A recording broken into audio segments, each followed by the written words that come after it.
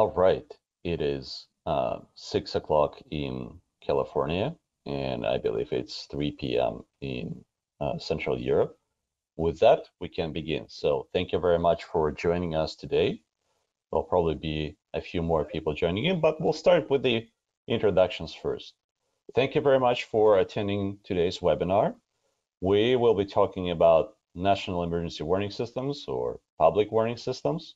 We'll talk specifically about EU Article 110, what it is, and what it means for the member states of the European Union, and Genasys approach to designing and implementing the systems in our experience. And of course, we'll have questions at the end uh, as well. There you go. Thank you. Uh, today on the call, we have uh, Pablo Gomez, who is a director of strategic marketing for mass notification systems. Pablo is based in Madrid, Spain. And you have myself. My name is Paul Neyman. I'm VP of software sales for Genasys, and I'm located in San Jose, California. So here's the agenda for today.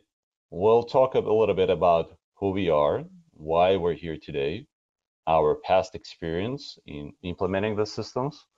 Would like to specifically highlight uh, a use case with Australia and talk about industry activism, how the systems are being developed, what they mean, um, how the regulatory bodies view the systems. Then talk about the challenging challenges of designing such a system, what an ideal public warning system should look like. We'll address specifically Article 110, the language that it has, what it says, what it means. And then talk about the approach to crisis management altogether. And then segue into Genasys implementation of a public warning system called NEWS, National Emergency Warning Systems, uh, its features and capabilities, and finally do a Q&A at the end. With that, let's go ahead and proceed. So first things first, Genasys. Genasys is the critical communications company. We've been on the market for over 20 years now, offering our outdoor public warning systems that are capable of transmitting crystal clear speech and sounds for miles around.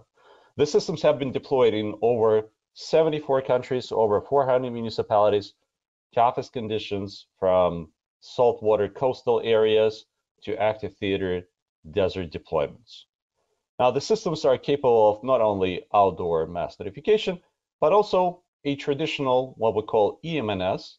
It's the capability to deliver notifications to your cell phones, to broadcast to social media, to um, activate any existing infrastructure in the area, digital signs, interrupt FM and TV stations, and pretty much leverage anything that is capable of getting your attention, getting a notification out to you. Now, we have extensive experience in deploying these systems, the combined hybrid systems. Uh, we've been on the market offering such solutions since 2012. These are typically uh, large-scale deployments. You can find them in California, in Texas, the entire territory of Puerto Rico, and there are also nationwide or countrywide deployments in Brazil, in Japan, and specifically in Australia. Now, we work very closely with both public and private sector. We have experience working with government agencies that are tasked with operating and implementing the systems, and we work with uh, Department of Defense as well. Let's talk a little bit about Australia because this is how the systems got a start. The uh, the impetus for designing such a system came from the government of the state of Victoria after a disastrous Black Saturday wildfire. The requirements were quite stringent. One, it had to be a location-based system. And Genasys was in fact the first, uh, the first operator on the market to create such a system that is capable of sending location-based SMS. The requirement was that SMS had to cover 100% of subscribers. And by subscribers, we mean anyone who has a cell phone, not the people that opted into the system. The system operates without any public opt-in. If you have a cell phone, you will get a notification. And the second set of requirement was related to performance.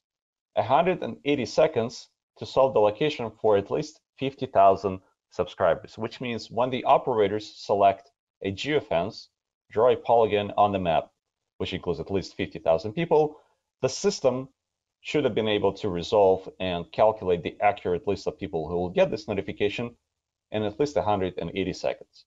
Now, the speed of delivery was set at 500 SMS messages per second. Now, this is how we approach this. We've um, bid on these projects and we've deployed with two out of three national carriers. And we've completely met or exceeded all the requirements posted. Uh, the speed today is 500 SMS messages per second as set by the government. However, in our own tests in the lab, we've demonstrated that we're capable of achieving 3,000 SMS messages per second. That was in 2012. Today, we're capable of delivering over 16,000 SMS messages per second, which is unmatched by any other provider of such services in the world. As far as solving the location, it takes us less than 30 seconds to solve that polygon and calculate everyone who is going to receive that notification, which is again a factor of 6x compared to the original 180 seconds of the requirement. Now, let's talk a little bit about how we view this and how we approach this. We work closely with various uh, regulatory bodies and agencies that design uh, the format and the rules for this system. And to call out a few, uh, FEMA, we have a very uh, tight collaboration with FEMA, which is the agency in the United States that is operating uh, and supporting the nationwide infrastructure for delivering these notifications called IPAWS. Uh, just a couple of weeks ago, we certified our software systems in addition to our hardware systems that have been certified for over a year now to work with IPAWS. So we are an official IPAWS originator now. And that public webinar with demonstration with everyone attending was uh, recorded by FEMA and is available publicly on their website. Uh, so at the end of this webinar, when we uh, send out thank you emails and follow-ups, we'll include the link to this recording as well so you can see a specific implementation of Genasys in the United States and how it works with IPAWS. Now, when it comes to Europe, we're an active member of the European Emergency Number Association, and we work very closely with PSC Europe, which is Public Safety Communication Europe Forum, supporting these workshops and supporting the development of future public warning systems. Now, when it comes to a public warning system, what is the typical challenge that you face when you try to develop or implement one? Um, we've identified three specific um, requirements that we see critical to the success. One, the system has to be multi-hazard, which means that when there are multiple stakeholders in the country, in the nation, operating multiple agencies operating on the system. The system has to be able to be one, customized for each specific agency, and second, be capable of delivering various alerts regardless of the nature of the disaster, whether it's a uh, minor traffic issue or a flooding in a particular region, or maybe a wildfire or a large scale nationwide impact, the system has to be able to handle all of this and be configured so that uh, any agency can easily and seamlessly include it in their operations. Second, time critical. It is, um, it is of utmost importance for a system to have performance to deliver these notifications on a nationwide scale. As we've demonstrated, something like 16,000 SMS messages per second is a fantastic number, which means you can cover thousands of people in a very short span of time. And finally, it has to have massive reach. And any successful public warning system should have a backup way of not only sending these notifications over location-based SMS or cell broadcast, but also have alternative channels. Because you can imagine that people turn off their cell phones, they don't necessarily hear them at night, or maybe they are on silent mode. So you have to have other ways to reach these people, either through outdoor mass notification, by delivering crystal clear sound wherever they are, by leveraging infrastructure in the country, for example, digital signs on the roads, on the storefronts, uh, anything that is capable of attracting your attention. Now, a reasonable question here is, do public system, warning systems actually work? And we have two examples to talk about. One is Sri Lanka in 2004 suffered a devastating tsunami, which resulted in over a quarter million deaths overall, and specifically in Sri Lanka, about 35,000 deaths total. They had plenty of time. There was 90 minutes between the initial earthquake and the destructive waves arriving at the coast. Unfortunately, Sri Lanka did not have a system in place. Now, had they had a system, uh, in as little as 90 seconds, a public warning system could have notified the entire coastal population in Sri Lanka, which, according to today's calculations, could have saved over 85% of lives, giving them ample time to evacuate. The second example is Australia, again, the Black Saturday wildfire, which resulted in 173 deaths. Um, the after situation analysis showed that all of those losses could have been avoided with an effective public warning systems in place. Now, it's not only the experts that are realizing the need for a public warning system today, the uh, residents themselves, the um, country population demands that such a system be implemented. And this is not our opinion. This is something that we see in the media today. These are just some of the highlights. I'll let you read the news, but I want you to uh, attract your attention to a couple of articles. One is from Australia, and this is um, an article talking about the lack of a public warning system when the wildfire happened. And the second is from Washington Post that talks about my native state, California, um, that the only California county uh, that had no fatalities from wildfire is the one that could have that could send timely notifications to its residents. And uh, what's interesting is that in California last year, as you probably have heard, we've suffered devastating wildfires as well, compounded by the fact that the state uh, utility electricity operator uh, was shutting off power statewide, which essentially rendered practically every single mass notification system helpless and unable to deliver notifications because without power, the uh, cell towers were down, and without cell towers, there is no way to send notification to residents' cell phones until um, the systems that were deployed by Genasys for specific cities and counties in California that are capable of operating on their own power, capable of operating on their own satellite feed, kicked in and delivered notification to the residents. So this again highlights the importance of having a backup uh, connectivity, backup strategy in place, and not relying only on SMS delivery. Now, what is the challenge of designing an effective public notification system? One, of course, its ability to deliver these notifications. Um, you have to be able to deliver them on any available modality and any available channel. But in addition to sending out the alert, you also have to have the way to send out instructions on what to do. If you remember the accidental notification that went out in the state of Hawaii that a ballistic missile was approaching, it was just an alert that a missile is incoming, and people panicked. People were hiding their children in in uh, sewers, covering them with manhole covers because there were no instructions, there was no follow-up. So it is critical for the operators running the system to not only send the alert, but also send precise and clear instructions for the population on what to do. But to send out these instructions, you have to have an understanding of what's actually happening, where your people are, uh, where are they moving, what is going on on the ground. You have to have situational awareness. Genasys provides such situational awareness because we integrate natively with the carrier hardware. So we provide anonymized data, real-time data to the operators, and they can see every single handset that is connected to the towers currently, uh, where it is, where it's moving to, so they have an accurate picture at any time. And finally, the system has to be trusted when you receive these notifications, um, the system has to have a brand of trust uh, created by the operators, by the agencies running the system, saying that if you get this message, this means this is indeed a serious concern. It is for your safety, and you should take this message seriously. So, in short, the challenge of designing an effective mass notification system is to is ability to maximize the public attention rate. Now let's segue into Article 110 specifically.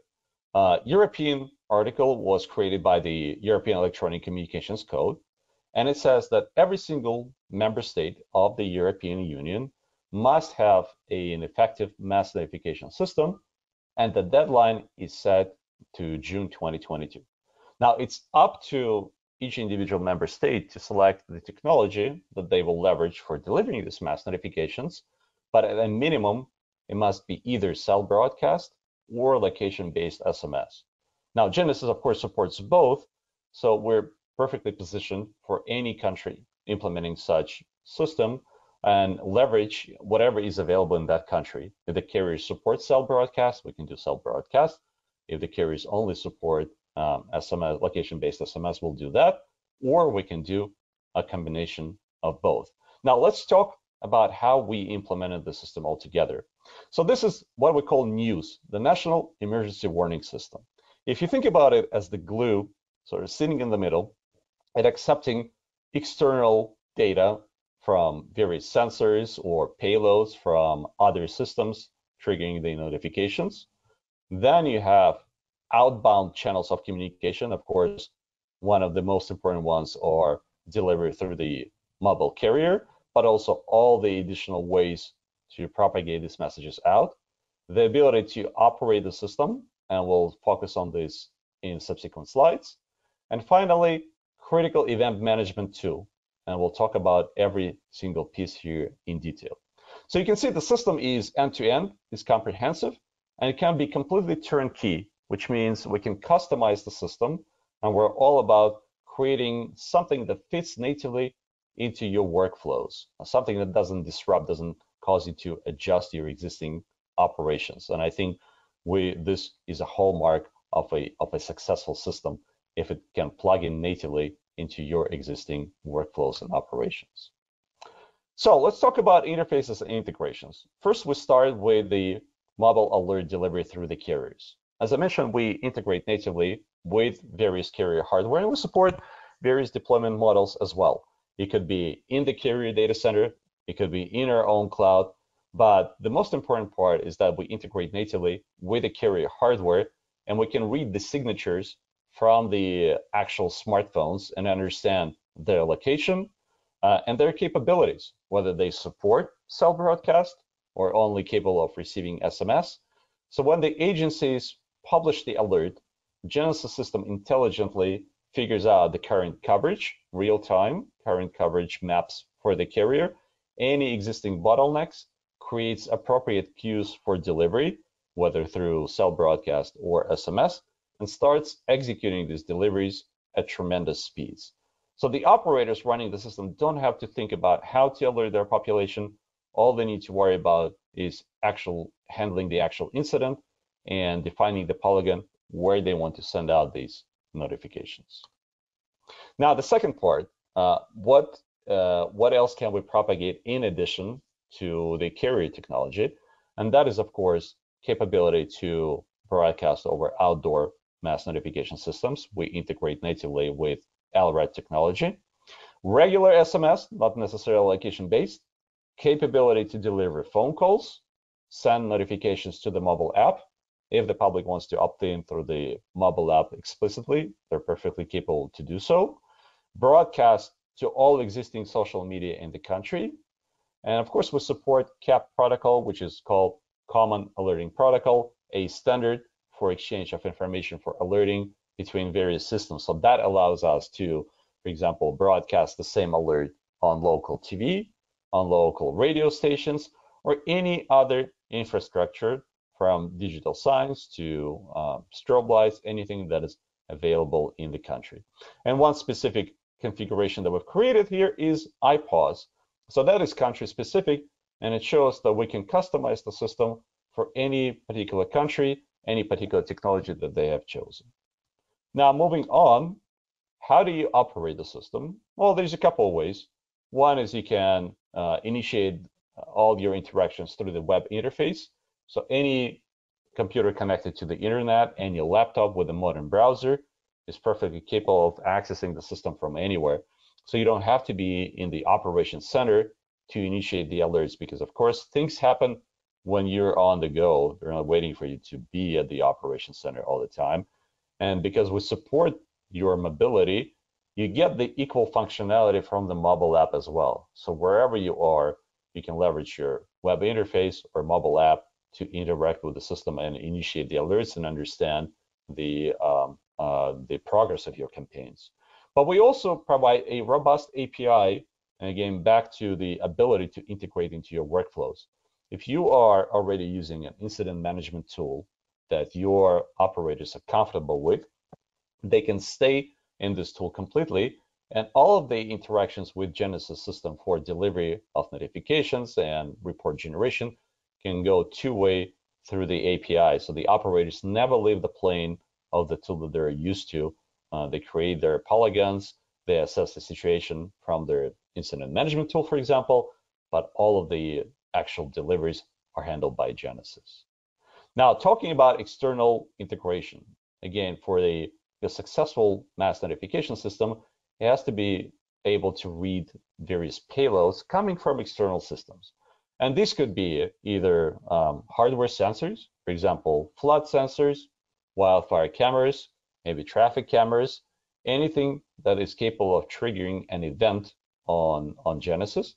And internally, you can define a business rule uh, that will trigger an instant notification either to internal staff for them to attract their attention that something is happening, or automatic rebroadcast to the public in the affected area, bypassing the human delay altogether if the situation warrants it.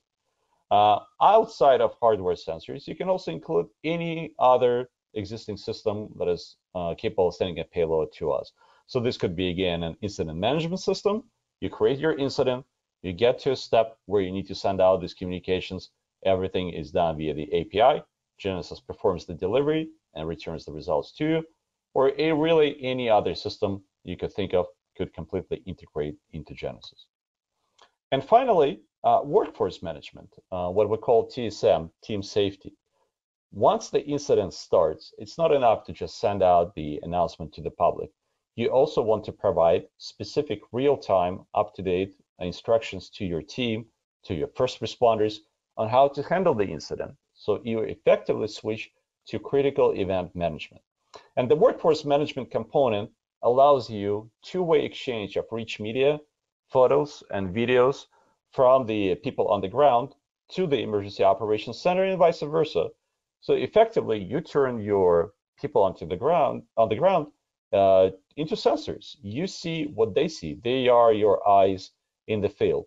So you send them real-time instructions on what to do, and you get uh, two-way communication back from them on how the situation unfolds, what is happening, what is it that they see, uh, so you can quickly analyze the impact to your operations and adjust your alerts to the public accordingly. So this, of course, all boils back to the fact that the system has to be able to send out uh, precise instructions and you adjust your operations based on the feedback from the field, uh, from the external sensors, and from the actual people working on mitigating the situation.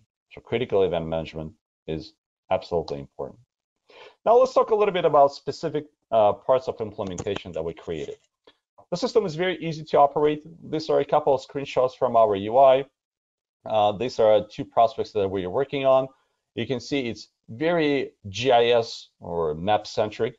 We support various uh, mapping technologies that are standard in industry. Uh, OpenLayers and Esri are of course supported. So you can include all of your existing geo resources that you have already developed and seamlessly transfer them into Genasys. So when you operate your alert campaigns, everything that you expect, your zones of administrative control, uh, your geofences, all your uh, assets that are already deployed will show up as well. It's very easy to add additional channels for communication and also create templates for future use for all the expected situations. So when the incident does happen, uh, you can launch your alert campaigns with just one or two clicks. Um, reporting. Reporting is critical to a success of the system. Now, Genasys provides real-time reports of everything that happened uh, on the system. Uh, both internal logs, so you can see every single step and action that was undertaken by the operators, whether they created a template or launched the alert or simply logged in, logged out. Everything is recorded for future analysis, but also reporting functionality related to the actual campaigns. Um, so the operators can use the system to see simple things such as population movement or monitor the map in real time because we're reading um, your signatures from the smartphones in real time all the time. Um, this could be a system for simply monitoring uh, for unusual activity and gives operators an advance warning if something is happening that they should be aware of, even if there are no reports coming in from the field. So all these reports are stored in long-term format and of course are available for export in, um, uh, in common exchange formats for analysis by uh, third-party analytical tools. Here's an interesting example. You can see these are the coverage maps being calculated real time. These are um, these are the uh, telecom provider coverage maps with a specific potential flooding zone overlaid in red over it, so the operators can see uh, if there's anything happening that needs their attention. And should there be a need to send out these notifications, they can see how well this area is covered with uh, telecom providers. Now, moving on, uh, permissions. So permissions is an important part of any successful mass notification system. Of course, you'll find a typical uh, flexible model of role and permissions integrated into, into Genasys.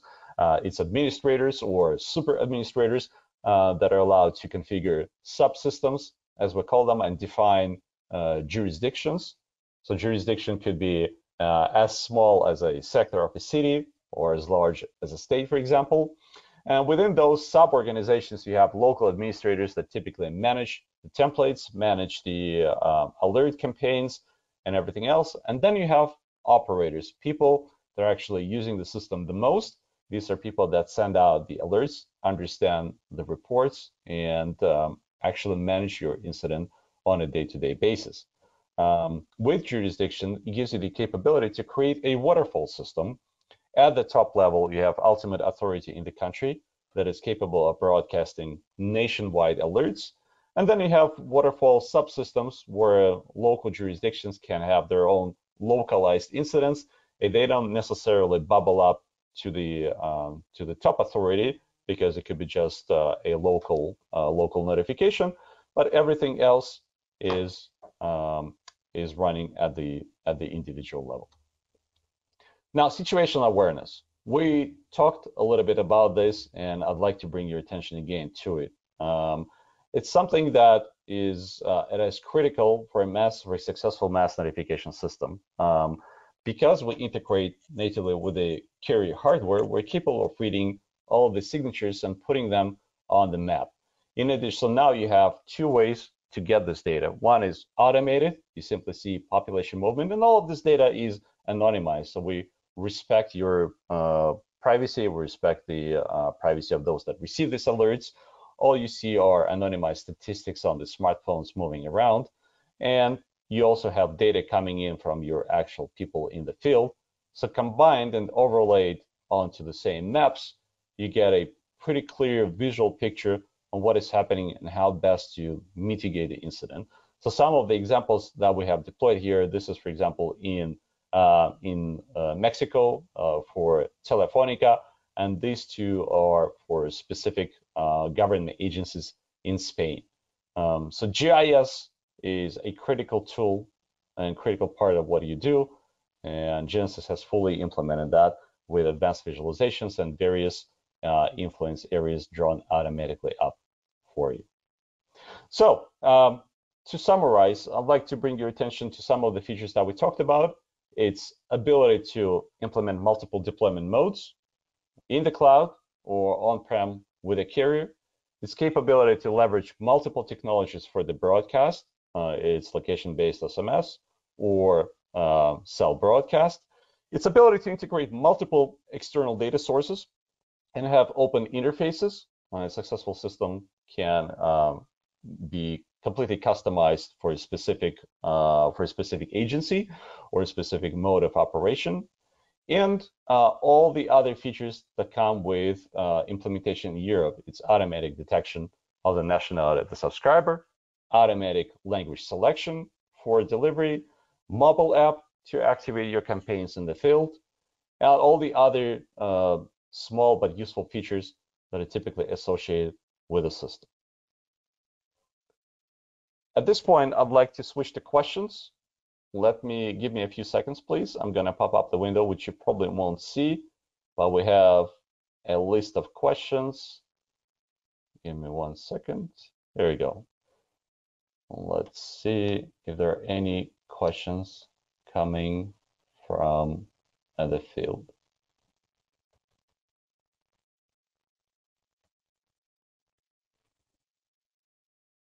Okay, uh, so one of the questions was um, regarding the uh, privacy um, of the people receiving these notifications.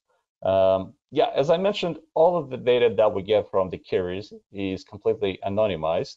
So essentially what we provide, we provide the front end for the agencies to operate on. And this front end gives you the heat maps. Let me actually back up a little bit so you can see uh, one second, let me switch to the slide right here. This would be a great slide to show. This is the front end that the various agency operators would see. It shows them the heat maps uh, and the clustering of the contacts, but they don't see any specific data associated with the handset because it's stripped as we read the signatures from the carrier. In fact, um, all of that data resides with the carrier only. And of course, according to the privacy rules, nobody else can see. Um, so the agencies operating the front end um, see where the population moves are, uh, where they're clustered together and can make intelligent decisions based on that. But the backend that Genasys also provides uh, performs the delivery and the calculations based on this anonymized data, uh, creates priority queues on how the uh, how the messages are delivered. Let's see, do we have anything else? Um, can the system send WhatsApp messages? Yes, absolutely. WhatsApp integration is included. Um, we consider this a social media. Um, so you can do Facebook, you can do Twitter, uh, you can do WhatsApp, you can do YouTube. Uh, and of course, if you have a, social media that is of particular importance in a specific country, then uh, we could create a customized integration for that uh, social media as well. Okay, um, one of the questions here is pricing minimum or ballpark for a complete system given the smallest EU country. Um, I'll leave this to Pablo. Pablo, do you want to take this question and talk a little bit about how the pricing is created? Okay, hello, hello everybody. It's nice to talk to you. Thank you, Paul. Okay, uh, regarding pricing and uh, our business model, um, one of the of the pillars we are building uh, our solution and the business model is flexibility. So it also applies to pricing. Um, we need to be flexible because uh, there are many differences between uh, requirements and of course the size of different countries especially in Europe. There are many differences between the smaller countries to the bigger uh, ones. You know? So let's see that. Let's say that uh, uh, the business model of the system is depending on uh, first uh, the size of the population to be covered. Uh, second, the different features as you has you have already been presented by Paul there are many, many different modules and capabilities of the system communication channels, integrations, even different ways to interact with the system. So uh, all those features are also a driver you know, of the of the business model. And finally, uh, the performance. Uh, there are many different requirements regarding performance. Uh, so performance and capability in terms of um, command and control centers able to connect to the system individually and independently are also drivers of the system. Uh, apart from, from that, uh, considering those points onwards, we try to adapt anyway uh, our proposals to the needs of the any needs or requirements from customer in order to uh, to try to make uh, the project and deployment happen, uh, considering first needs from the customers than any other thing. Thank you, Pablo. Uh, there's a couple of uh, there's a couple of other questions that are related to uh, delivery of messages and performance. So let me answer those. Um, does the platform support sending alert messages to people who are abroad? Um, so it depends. If uh, if you have not opted into the system, then if you are outside of a polygon defined by the operators, then no, you will not uh, receive a message because you're simply not there, so you shouldn't be. However, uh, because we support delivery to email, to uh, mobile app, uh, to all the other channels, we create a public sign-up portal where you can explicitly opt in and say, I want to receive these notifications, regardless of whether I am in the area or not. And I'm interested in specific topics. So some of the topics maybe you cannot opt out of, depending on how the uh, agency running the system decides. Let's say if it's a critical notification, yes, you'll get it, even if you're outside of the country. But maybe if it's of localized importance, then you can say, you know what, I'm not interested in weather-related notifications. Don't notify me about this, and then no, you will not get this message. So really, it all depends on how the system is configured and whether you want to opt into the system or not. Uh, Paul, uh, yes, yes, yes uh, uh, a, a, little detail, but it's important. Uh, talking from people from abroad, let's say when uh, talking about roamers in in a European country, the requirement of the Article 110 of the EECC is uh, is just requiring you know uh, messages being receiving also from people from abroad. This is covered by by news uh, with both channels, uh, location-based SMS and, and cell broadcasting. Uh, all people is automatically opted on the system, as said before. Even when you are a tourist or a visitor in the in the country, you will be uh, considered in the system. In the case, as as Paul said before, you, know, you are inside within the emergency area. Okay. Um, we have a question about SMS delivery. Um, so we can deliver over 16,000 SMS messages per second. The question is that typically the bottleneck is with the carrier. So the question is, can we elaborate on how we work with local carriers, our, their capacity from our experience, and what we do to optimize the delivery? Pablo, do you want to talk a little bit about that? I absolutely, and it's a very good one. It's a very good question, and you are totally right let's say our system is able to support a great performance, uh, but uh, it's it's true that uh, from that moment onwards we are sending the message. Uh, it's going to depend from the capability, the capacity of the mobile network operators in the core network and especially in the radio network. You are totally right. Okay, uh, we work very closely with the mobile network operator and with the let's say with the final customer, which is the authority with the capability of uh, creating and managing uh, communication campaigns in order to review that performance together. It's it's important to do a, a an let's say a, a, a, review, a careful review together to the telco, just to test uh, uh, the real performance they are supporting. Good news is that um, SMS capability used to be uh, okay, very, very, uh, used to have a very important dimensioning in order to cover some peaks during the year.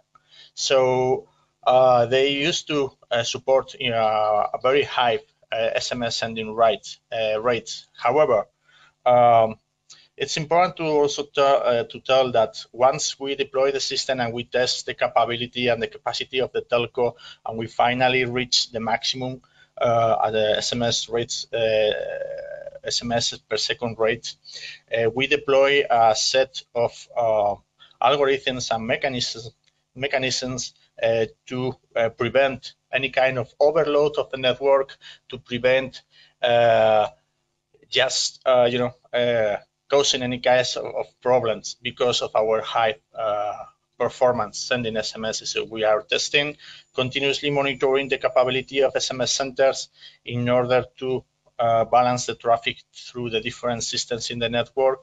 And we are monitoring how they are working just to adapt the traffic uh, and prevent the congestion in the network. Great, thank you. And on the heels of that, Pablo, question is, what is the length of time to fully install and, and operate the service? Another good question because it's very, very hardly dependent on their uh, on their requirements. Okay, it's not going to be a matter of, of days.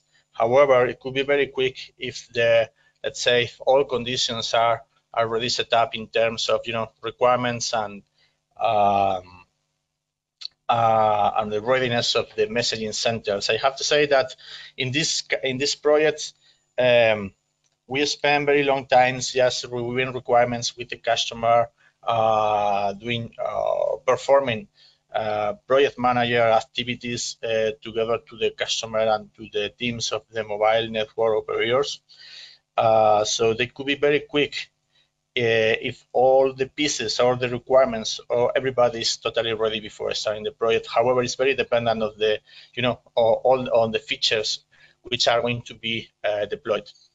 Wonderful, thank you. And of course, the follow-up question to that is, uh, is there a service recurring revenue? I guess the, the question is, maybe I'll rephrase it and let me see if I got this right.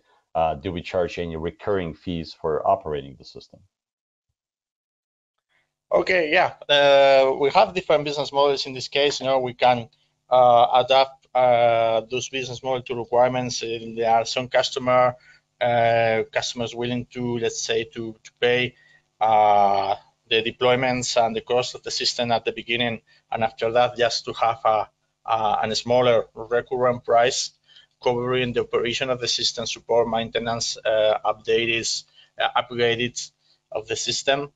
Uh, but there are there is other possibilities for other customers who prefer, you know, to have a, a the same price for for the first year and the second and uh, year onwards pricing, let's say, and having just an annual price, a fixed price covering everything from the beginning, closing maybe a multi-year contract for three, four, five years. Mm -hmm. Great, thank you, Pablo. Uh, we have a question about, uh, again, about the tourists and receiving the uh, location, uh, I'm sorry, receiving the uh, notification when you're traveling. So the question is, can news send SMS to citizens registering back home as traveling in another country and roaming on another national network? So for example, I've registered in UK that I'm going to, um, to Thailand and um, will I get a notification if something happens in Thailand? Uh, can can the UK office communicate with all of their tourists? Yeah, uh, absolutely. Uh, why not? You know, it's possible to. Uh, this depends on, on, on the objective of the customer, let's say, uh, but it's totally possible and probably convenient to have this kind of features.